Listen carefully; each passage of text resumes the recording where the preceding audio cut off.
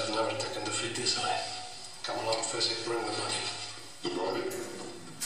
Have you any money? I don't know. I just hope it's enough to buy a miracle. That's all.